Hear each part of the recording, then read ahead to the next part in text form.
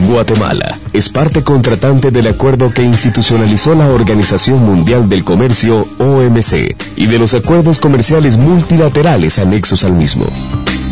ha suscrito tratados de libre comercio tanto con los Estados Unidos mexicanos y República Dominicana como con los Estados Unidos de Norteamérica, conocido por DR-CAFTA, por sus siglas en inglés. Todos estos instrumentos ordenan la emisión de disposiciones sobre normalización, acreditación, metrología, reglamentación y procedimientos de certificación, por lo que Guatemala, como parte de ellos, debe contar con herramientas que faciliten el intercambio comercial entre naciones. El Estado de Guatemala promueve el desarrollo ordenado y eficiente del comercio interior y exterior del país, fomentando mercados para los productos nacionales, para lo cual resulta necesario establecer un sistema nacional de la calidad que cumpla con lo dispuesto a nivel internacional y que permita aumentar la eficiencia de la producción. Para el establecimiento de un sistema integrado de desarrollo de calidad, es conveniente que las disposiciones relacionadas con las actividades de normalización, acreditación y metrología se encuentren establecidas en un solo marco legal, por lo que en noviembre de 2005 el Congreso de la República aprobó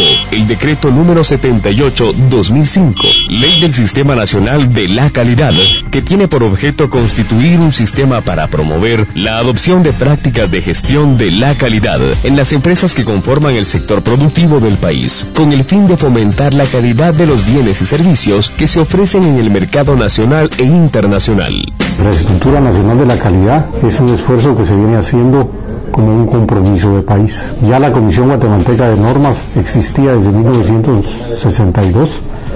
pero en este eh, momento le hemos dado un giro de 180 grados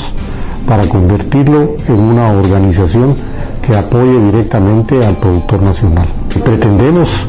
que la Comisión Guatemalteca de Normas en su momento se convierta en un organismo eh, independiente eh, que pueda generar sus propios recursos y que pueda satisfacer la demanda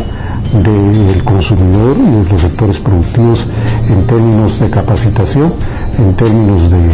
venta de, revistas y de normas relacionadas con el proceso, incluso de la venta de las propias normas de la ISO.